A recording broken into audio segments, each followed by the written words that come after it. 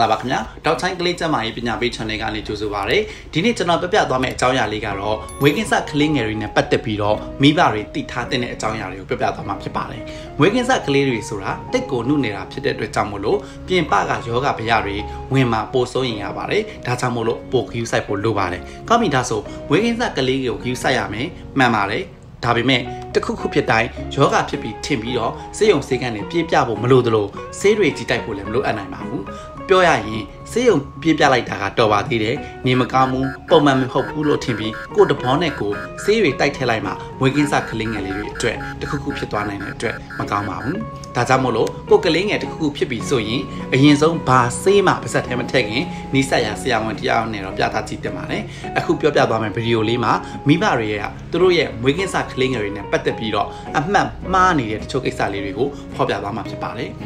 နံပါတ်1အနေနဲ့ပြောပြချင်တာကမွေးကင်းစကလေးငယ်တွေရဲ့မျက်လုံးကအဖြူနဲ့အမဲကိုပဲမြင်နိုင်ပါသေးတယ်။နောက်ပြီးသူတို့မျက်လုံးကကြွက်သားလေးတွေကိုကောင်းကောင်းမထိန်ချုပ်နိုင်သေးတာဖြစ်တဲ့အတွက်ကြောင့်ကလေးငယ်တွေရဲ့မျက်လုံးလှုပ်ရှားပုံကတိတ်ပုံမှမဟုတ်နိုင်ပါဘူး။ဒါကိုမိဘတွေကသိထားရပါမယ်။မျက်လုံးအားနဲ့လည်းထင်ပြီးမျက်စင်းခတ်ပေးတာမျိုးဘေးမလုပ်ရပါဘူး။ဒီလိုလုံးမှပို့ဆိုးသွားနိုင်ပါတယ်။အခြေအနေငယ်ကြာလာတာနဲ့အမျှမျက်လုံးလှုပ်ရှားမှုပုံမှန်မှာဖြစ်ပြီးတော့နှစ်ပတ်ကျော်ကြာလာပြီဆိုရင်ကလေးငယ်လေးဟာအယောင်တွေကိုစမြင်လာနိုင်ပါတယ်။ နောက်တစ်ခုပြောပြချင်တာကတော့ကလေးငိုတိုင်းနေမကောင်းလို့မဟုတ်ပါဘူး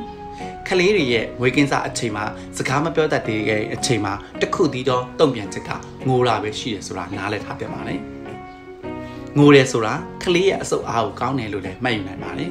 ကလေးတယောက်ငိုတယ်ဆိုရင်များသောအားဖြင့်ကတော့တခုခုလိုချင်လို့ပါ တခြားအကြောင်းအရာတွေကတော့ပြီးရစိတ်လို့အကောင့်တတလေးတွေကြိုက်သွားတာမျိုးကလေးတန်ပါသုံးထားလို့တန်ပါရဲမှာရှူပေါက်ချထားတာအီးပါထားတာမျိုးဘိုက်စာတွေကြောင့်လည်းဖြစ်နိုင်ပါတယ်ဒါကြောင့်ကလေးလေးဟာရုတ်တရက်ငိုတယ်ဆိုရင်ဒီအချက်တွေကိုတေချာကြည့်ရမှာဖြစ်ပါတယ်တစ်ချိန်တည်းမှာပဲကလေးကိုလည်းမြူပါ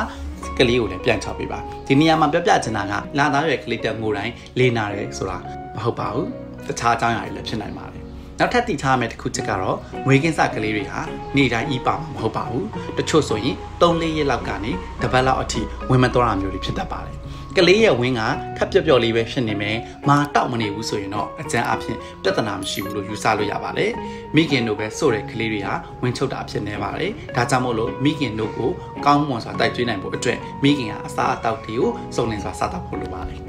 နောက်တစ်ချက်ကတော့ကလေးတယောက်အတွက်ဘယ်အချိန်မှာဘလောက်ဖွံ့ဖြိုးရမယ်ဆိုတာ တတ်မှတ်ထားတာမျိုးလေးတွေရှိပေမဲ့ဒီအစီအစဉ်အတိုင်းအမြဲတမ်းဖြစ်ရမယ်လို့မဆိုလိုပါဘူးပြောချင်တာကကိုကလေးကသူများကလေးထက်ပိုပြီးဆော့ဆော့မှောက်မယ်ထထိုင်မယ်ဒီလိုတွေဖြစ်တိုင်းလဲပုံညံကောင်းမယ်လို့မပြောနိုင်ပါဘူးအလားတူပဲသူများရဲ့စကားပြောတဲ့အချိန်မှာမပြောသေးလို့အုံနောက်မှာတခုခုချိုရင်းနေတယ်လို့မပြောနိုင်သေးပါဘူးများသောအားဖြင့်ယောက်ျားလေးတွေကမိန်းကလေးတွေထက်စကားပြောတာနောက်ကျတတ်ပါတယ် နောက်တစ်ချက်ကတော့ကလေးတွေရဲ့အစာပြွန်လမ်းကြောင်းကတိတ်ပြီးမဖွံ့ဖြိုးသေးတာကြောင့်မို့လို့မကြခဏပြန်အန်တတ်ပါတယ်ဒါကလည်းကလေးတော်တော်များများမှာဖြစ်လိမ့်ရှိပါတယ်အန်ရင်လည်း walk နဲ့ထိုးထိုးအန်လည်းကြပါတယ်ဒါဟာယောဂတစ်ခုမဟုတ်ပါဘူးဒါပေမဲ့အဲ့လိုမျိုးအန်တာဟာ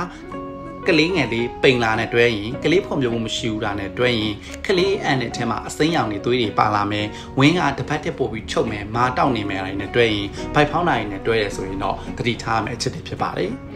တကယ်လို့အရန်စိုးရင်လည်းဆိုရင်တော့ဘာဆေးမှကုဖတာခုမတိုက်ဘဲနဲ့ဆရာဝန်နဲ့တွားရပြတာကြည့်တင်ပါပဲ နောက်တစ်ချက်ကတော့မွေးကင်းစကလေးတွေကိုထိန်းသိမ်းဆောက်ရှောက်ရတာအတော်လေးတော့ပြင်ပန်းပါတယ်သူတို့မှာအိတ်ချိန်စားချိန်ကပုံမှန်မရှိသလိုဘယ်အချိန်မှဘာလုပ်မယ်ဆိုတာလည်းဘယ်သူမှမသိနိုင်ပါဘူးဒါကြောင့်ကိုကလေးညဘက်ဆိုတိတ်မအိတ်ဘူးလို့နေ့ဘက်ဆိုအရန်အိတ်တယ်လို့ဆိုတာမျိုးတွေကကြုံတွေ့နေကြကိစ္စတွေပါဒီလိုအိတ်ချိန်စားချိန်မမှန်တာတွေကအချိန်ကြာလာတာနဲ့တော့ပြတ်သွားနိုင်ပါတယ်နောက်ပြီးဝေကင်းစကလေးတွေဟာအရန်အိတ်နိုင်ပါတယ်သူတို့အတွက်အိတ်ချိန်အရန်လိုအပ်ပါတယ်တနေ့ကို9ခါကနေအများဆုံး10ခါလောက်အထိအိတ်တက်ပါတယ် နောက်တစ်ချက်ကတော့မွေးကင်းစကလေးတွေမှာဝက်ချန်လိုလိုအဖူလေးတွေပေါက်တတ်ပါလေဒါပေမဲ့ဒါဟာလူကြီးလိုအစီဘူးတွေမဟုတ်တာကြောင့်တွားညှစ်ထုတ်ဆရာမလိုပါဘူးသူ့လိုလိုပြန်ပြောက်သွားနိုင်ပါတယ် နောက်ထပ်အရေးကြီးဆုံးအချက်တစ်ချက်အနေနဲ့ပြောပြချင်တာတော့ကလေးငယ်လေးတွေမှာအသက်6လအထိမိခင်တို့တမျိုးတွေကိုတိုက်ကြွေးဖို့ပြောချင်ပါတယ်မိခင်တို့ထဲမှာကလေးအတွက်လိုအပ်တဲ့အာဟာရဓာတ်တွေရောရေဓာတ်တွေရောစုံစုံလင်လင်ပြည့်ပြည့်ဝဝပါပြီးသားဖြစ်ပါတယ်ဒါကြောင့်မို့လို့အသက်6လအောက်ကလေးငယ်တွေကိုရေထပ်တိုက်စရာမလိုပါဘူးမိခင်တို့ထဲမှာကလေးရေထပ်88ရာခိုင်နှုန်းလောက်ထိပါပြီးသားဖြစ်ပါတယ်ဒါကြောင့်မို့လို့မိခင်တို့ကိုပဲတိုက်ပါ